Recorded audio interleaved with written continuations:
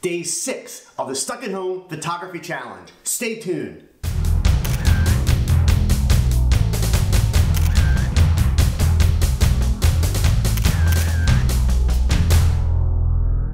Hey gang, here we are, day six of the Stuck at Home Photography Challenge.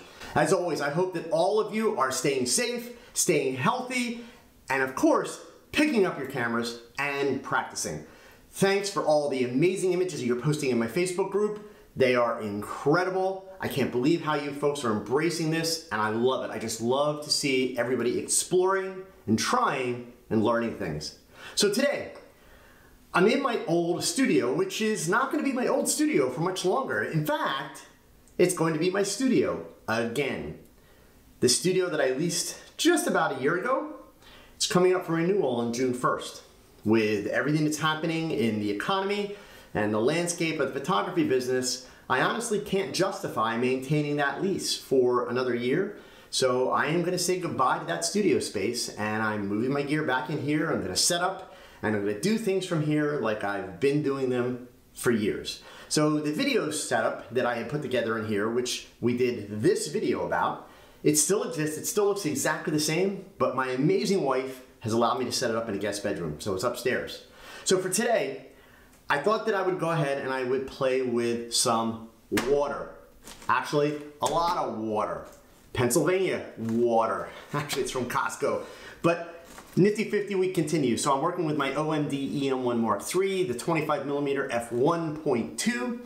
On the table here with me, I've got the Savage RGB LED light wand. So remember, this will do all the different colors. Um, very, very great and useful utility tool. So we're gonna set that down. And I've got one other light this is old school, so this one's plugged into the walls, AC power. This is by a company named Lowell. It's a Lowell Tota-light. Really, really bright, right? Got the little barn doors built in, collapses up. These lights were staples for commercial photographers, architectural photographers for years and years and years and years because they were small, lightweight, portable, uh, but of course they required AC power but they're super, super, super bright. So that's why I wanted to have one of them available. I've got this case of 40 bottles of Costco water. And oh, one other thing. I've got some black material because I don't want this base, the, the wooden table. So I'm going to cover the table. And the scissors here are actually so that I can open the water. So I'm gonna speed things up, get my setup put together so I'm ready to shoot, and we'll start.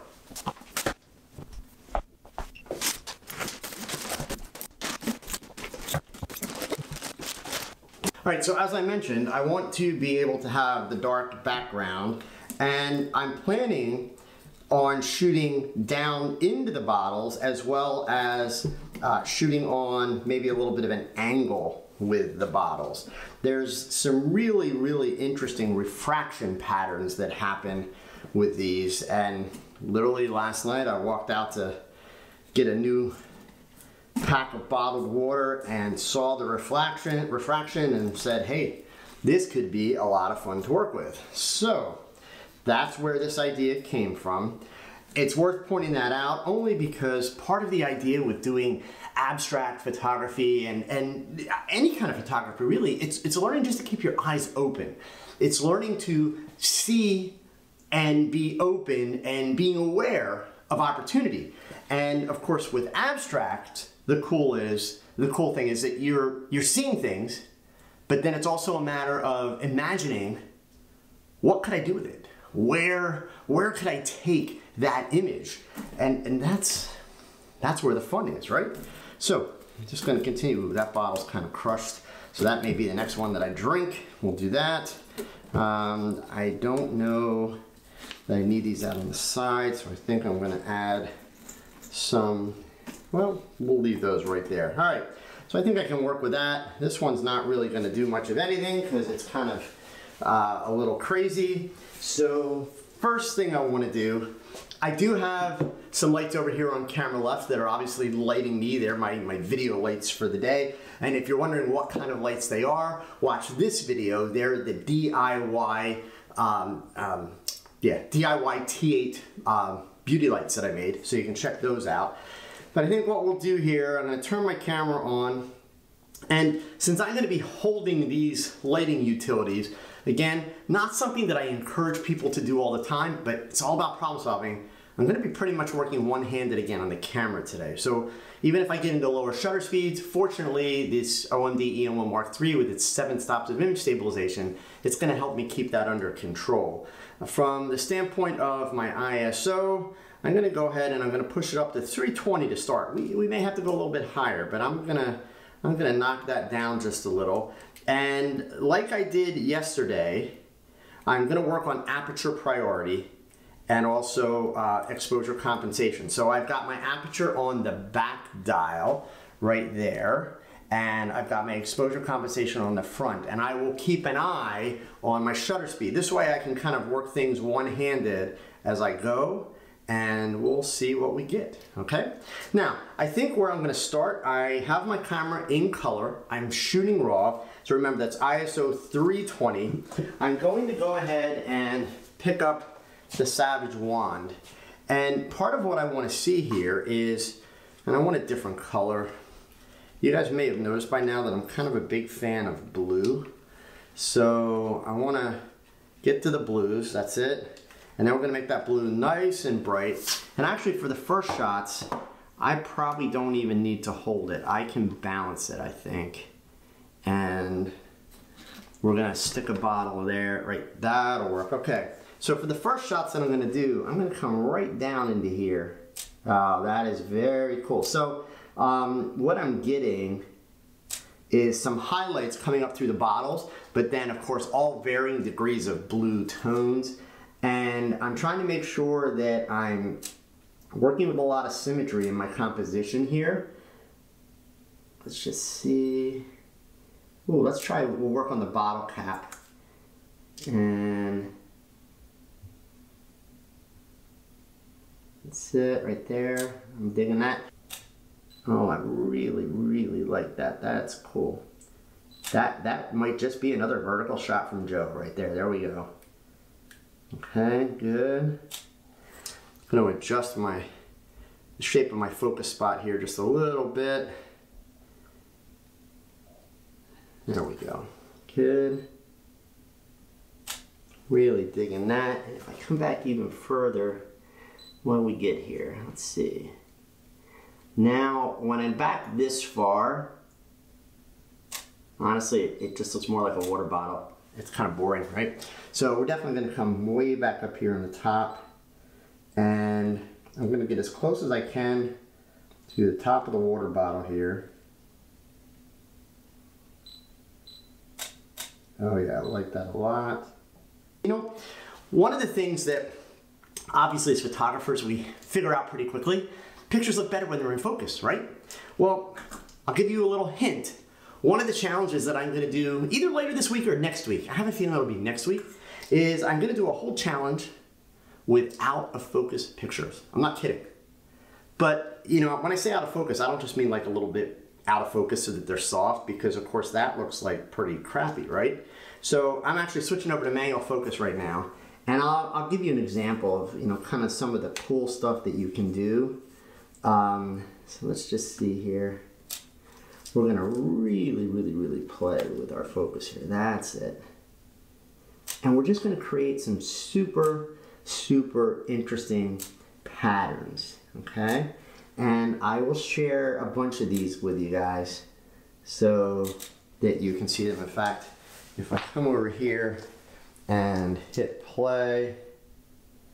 Let's bring this up just to give you a sense. There you go, right there. So blurry, but kind of cool, right? So I'm gonna brighten that up. And by the way, um, Savage does have a great iPhone app, which I should have brought my phone down with me and used that. But uh, the app controls this incredibly well. And what I'm gonna do is I'm gonna take this and slide it down in there like so. All right. And then just play with what kind of results I get. That's it. And the cool part is, you know, in a situation like this, there's so many different spots where you can focus, right? Oh, let's see. Nice. Very cool. Wonder.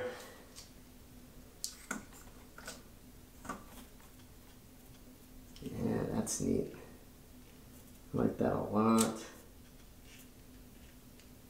Cool. Very cool. And let's see. No, I'm not thinking that too much looking in the side there. But let's uh, try one or two more angle shots here. And then we're going to switch lights.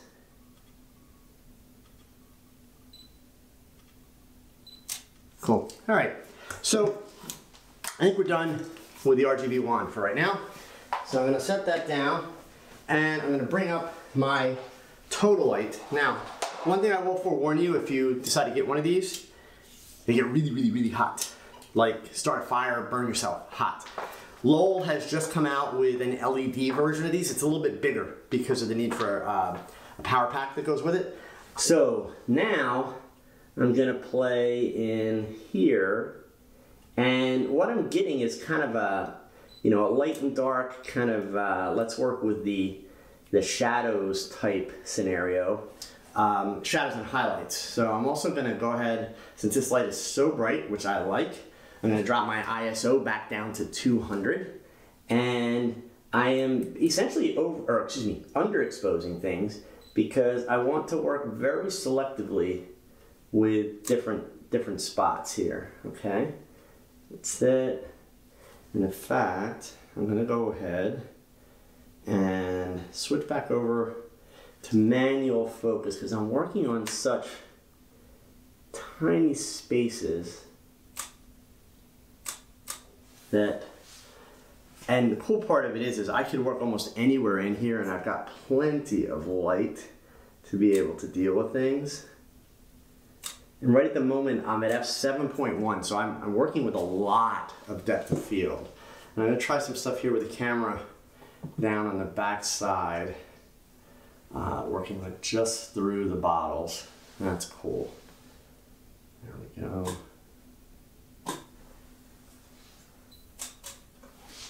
Okay. Way down here. Now it's also important to note that if I leave that there long enough, we'll probably see water spill out because I'm, probably going to melt them. But fortunately, they're actually not getting that hot. The heat is rising though. So again, gotta stay aware if you're going to use a light like that, okay? You don't wanna start a fire, you don't wanna burn yourself. None of those would be good options. Oh, cool. Now, since I'm here, I'm gonna work up on top.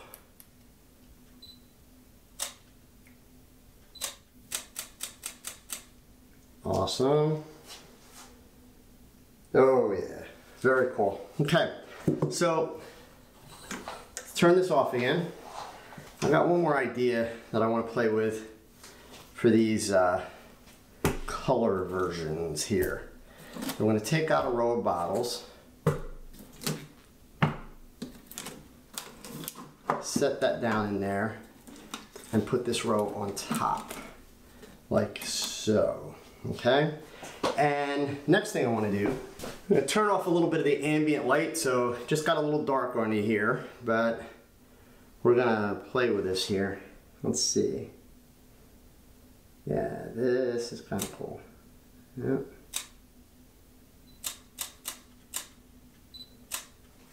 Okay, I want to change the color See if I can remember which one is. There we go. There's our blue again. Can never go wrong with blue. I just can't. Blue's a fun color. It is.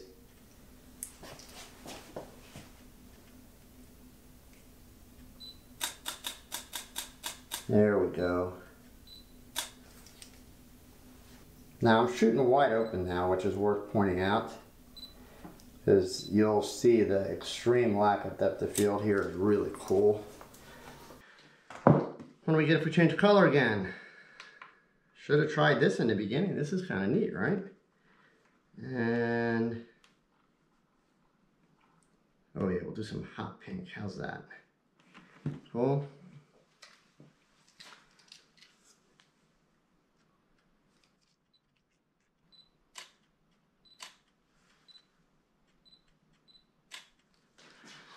Okay, so what do I get here? If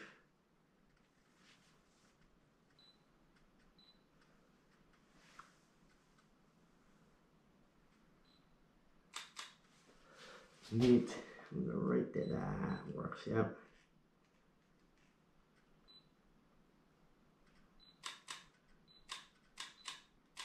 Cool.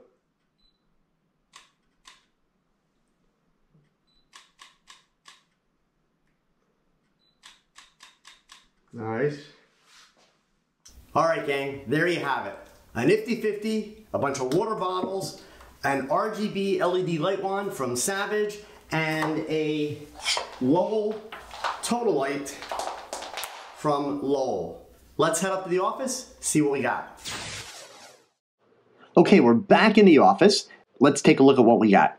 I've got uh, 207 frames that I shot today, which you know is about average for what I've been shooting all week. So let's take a quick look through here, see what we have. We've got some stuff with some blues, some oranges, some stuff that's kind of very monochromatic. Uh, as we scroll down, when I went back to the RGB light, we've got the blues, the oranges, and some purples with magenta at the end. So the way this whole selection edited down, uh, it wound up, these were my three picks.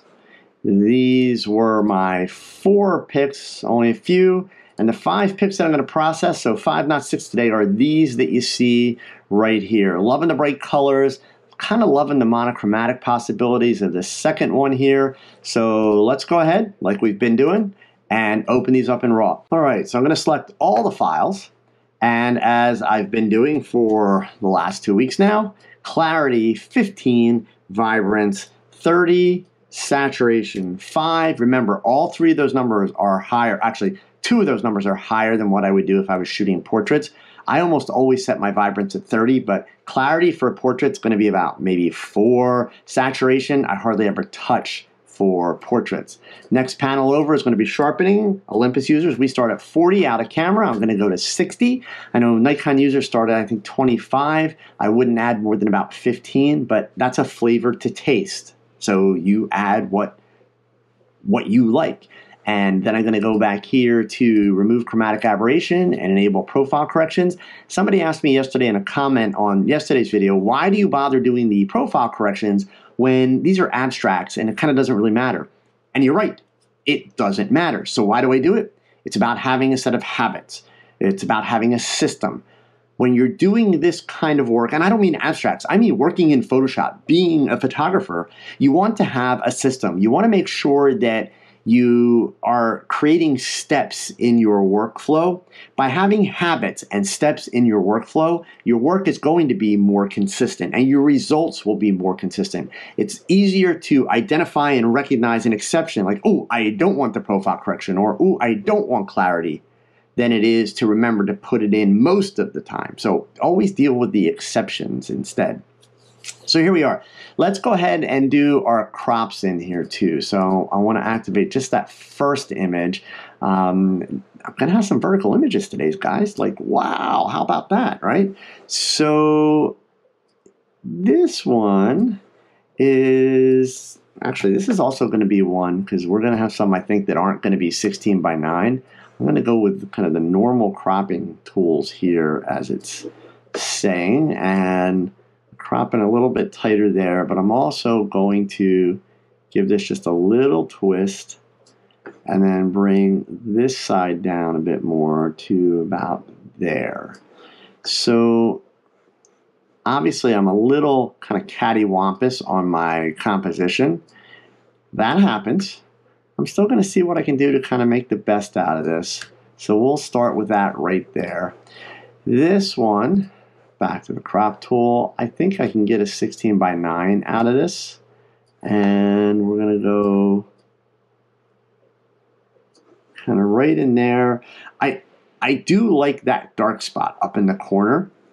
And I want to leave that there. So that's, that's going to be a piece of what we we work with. Uh, this one is certainly going to be a vertical crop. This does not need to be 16 by 9. So, in fact, you know, this might actually, do I want to do square here? What do I get if I do square? Um, this is actually kind of a good one for, for square. So we'll do that. Uh, we're definitely going to go 16 by 9 here for sure.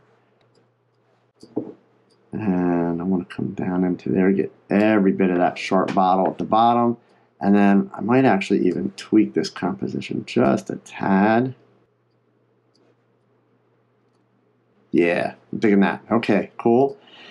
And then this one, again, this doesn't need to be 16 by 9, so, but I do think we're going to go most of the frame here. We are. All right, so let's go ahead and process these for, for color and everything else, right? And you notice, some days I'm doing the crops first, some days I'm doing all the processing first. Just have a habit. I'm just having some fun here right now. But the point is, make sure you're addressing all of those things. So I realized I kind of contradicted myself there in terms of a system. I will tell you that when I'm doing my portrait work, I don't do my cropping until I'm done all of my processing. But for these, I'm not doing that much processing. So I'm going to go ahead and I'm going to do the crops now. All right, what do I get? Yeah, I knew that dehaze was going to really pump my colors there push those blues up even a little bit more on the lighten side, but I also want to saturate them just a tad. There we go. Really, really liking that. And, you know, I'm curious what's going to happen here if I do auto white balance. And it really purifies that. So, you know, this is a tough one because on one hand, I kind of like the yellow. On the other hand, I'm tempted to kind of go blue. Uh, we have some purple in, maybe some teal. I haven't done teal yet in two weeks, but you know what? I got to admit, I really like that. Now, if I pop that dehaze, boom, look at that. In fact, we may not need as much of the dehaze. Let's bring that back a little bit. Definitely throw some texture in there. Watch the detail on the lid right here when I slide that texture slider up. See what happens with that? How cool is that, right? So gonna yeah, we're to go right in there. Really liking that. This one, let's see, it's kind of same thing here. I'm going to really push that texture up because there's texture in the lid. Love that. And now here, I'm going to bring the highlights up a little bit. And I, I want to bring the shadows up just a tad because I've got a lot of detail back in here, but it's, it's shadow detail. And I don't want to bring it like all the way up. That's going to look horrible, right? But just, just to give it a little something, something there. Kind of digging that. Good. And now this one again. So already today I figured out I like that little lid texture. So I'm going to push the texture slider way up. That's kind of cool. Grab the blacks way down. Bring the shadows way up. So you notice once you kind of once you kind of get into like a, a, a, set of settings that work for a series of shots, you know that you can go ahead and you can kind of repeat them as starting points. I really love that. Okay, and then kind of the same thing here. Textures coming all the way up. Gonna bring the blacks down, bring the shadows up, pull those blacks down even more. And I'm actually gonna bring the highlights down just a tad. That, that color scheme there is so cool. So I'm curious if we come over here and start Okay, cool. Awesome, awesome, awesome. So we're gonna we're gonna work right in there. All right, let's go ahead open all these in Photoshop. Okay, so let's go back to our first image. Here it is. Um, you know, I am curious, the more that I look at this, what happens if I rotate this image? I'm going to go counterclockwise. And I kind of like it with the bright spots up top. Um, I just do. So I think that's going to be my starting point. I'm going to go ahead and put my dodge and burn layer in. So remember that is uh, new layer, uh, select 50% or uh, 50% gray. Okay, that gives you the gray layer that you see here. I'm going to use the gradient tool. A lot of you have been asking about the gradient tool trick. So let's do this one more time, right? You have to have the dodge and burn layer in. I'm going to go ahead and label it right? Let me do it for you in slow motion one more time. So I'll create a second one. We do layer, new, layer. When the dialog box comes up, change the mode to soft light. When you change it to soft light, you get this option, fill with soft light, neutral color 50% gray. Click that box, that's all you have to do. If you want to name the layer, you can name it. We'll call it D&B since I already have a dodge and burn layer. And when we click OK, magically, it appears right over here as your gray layer, right? Now I'm going to get rid of that one. So I have mine set up. Now I've got black selected. Black will burn, it will darken white will lighten. So if I just take a pen here, and I'm going to do it at 100%, so we're going to do it big. So if I want to darken, boom, there it darkens. If I want to lighten, boom, it lightens, right? Really simple, okay? And by the way, it's worth noting, there are very few instances in Photoshop where you want to be doing things at 100%, meaning, you know, the power of things. It's usually too much. You work at smaller numbers and you build up.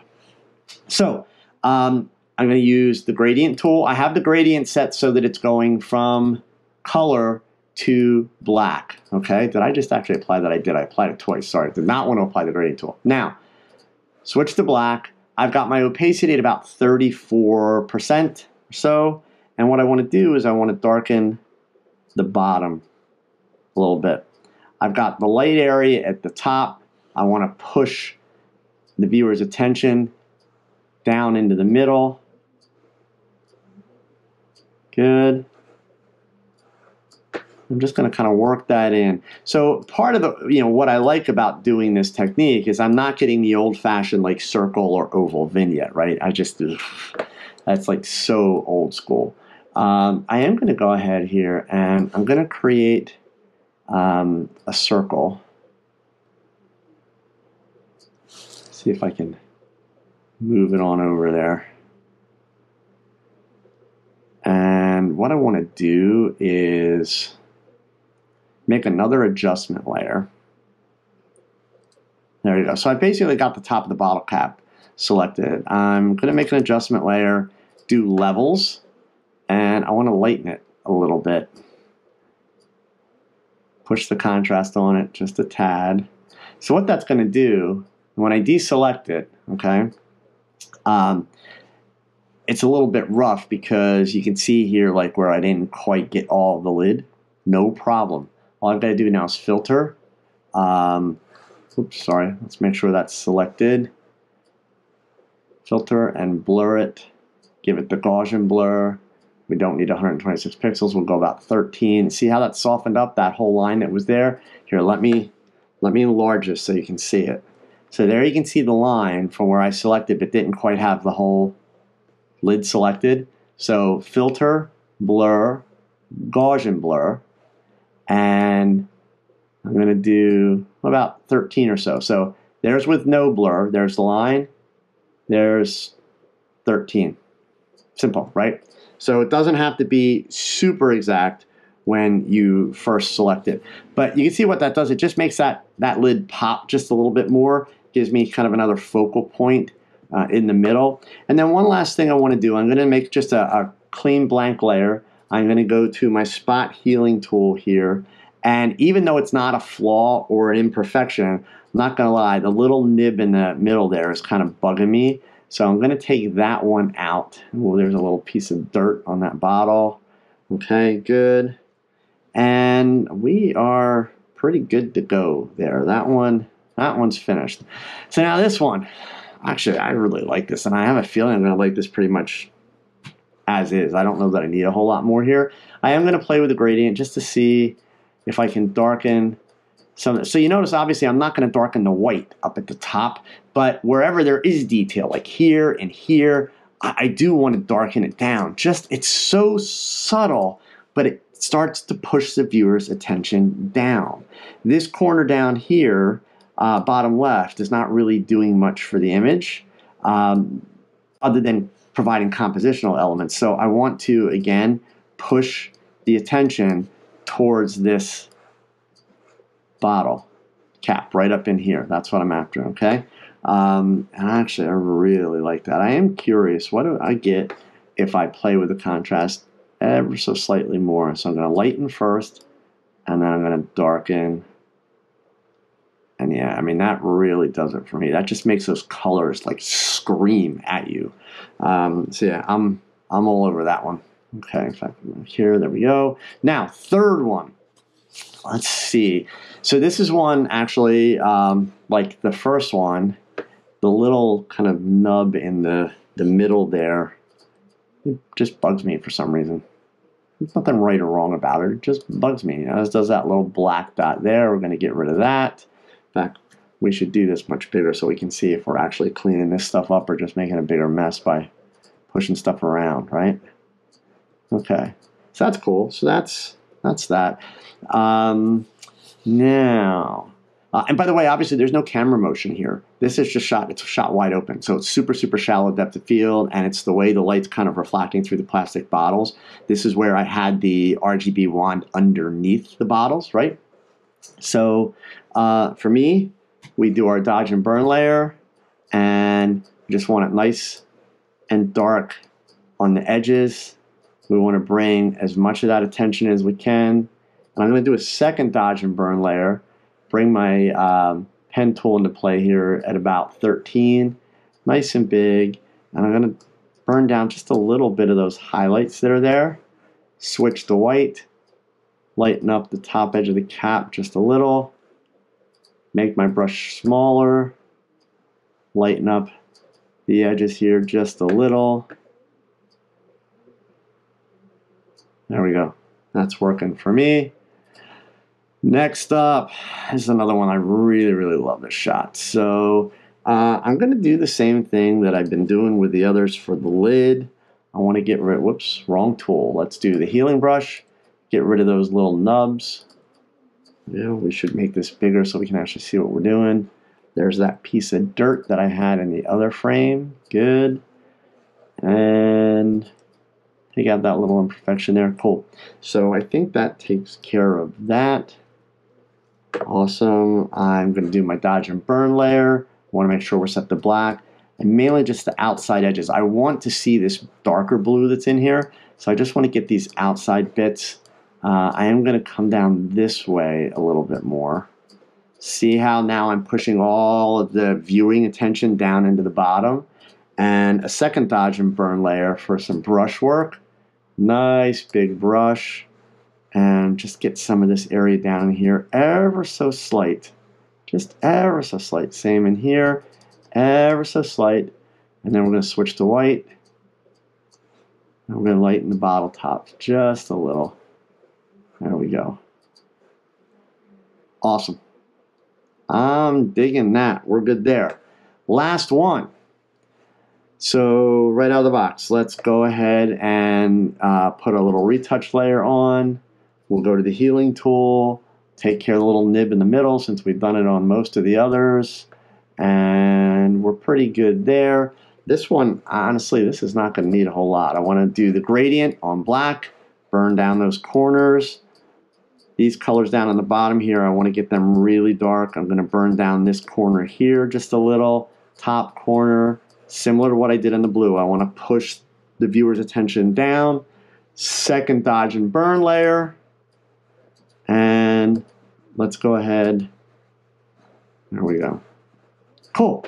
So that's it, gang. First image, all blue. Second image, kind of really digging this one. Um, third image, we've got that hot orange and a square crop. I haven't done a whole lot of square crops this week. And this blue one for the nice long 16 by 9 and then this magenta, purple, and blue one. So I got to pick one, right? I, I think, and, and, I'm a little torn. I, I, am torn between this one and this one. Um, let's see here. Yeah, that's cool. That's cool. But but these two. So I think for today's video cover, I will go with. Mm -mm. I'll probably go with this one for the video cover only because of the darker background will look better with the white text on top. I honestly think though that this is my favorite image. So if you check these out on my Flickr profile, the link is in the description below. You see each each day I label which one's my favorite. Um, but yeah, this one's going to be my favorite for the day. Just kind of a different vibe to it. Something simple, just a bunch of water bottles, right? Again, gang, the whole idea is experiment. You see, I took two different light sources, played around with where I could place them, how I could use them, having the light come through the light, uh, through the bottles from the side, having the light come through the bottles from below. Have some fun, experiment. You guys are making me proud. I'm seeing tons and tons of pictures in my Facebook group. Again, the link for the Facebook group also in the description below the video. If you're not a member yet, I would love to have you join. Please join. I do photo reviews several times a week. I'm going to try and get one in tonight, but if not, we'll get one in very, very soon. In the meantime, whatever you do, stay safe, stay healthy, pick up your camera, experiment, practice, play around, push outside your box, and have fun. Because your best shot, it's your next shot. Adios, gang.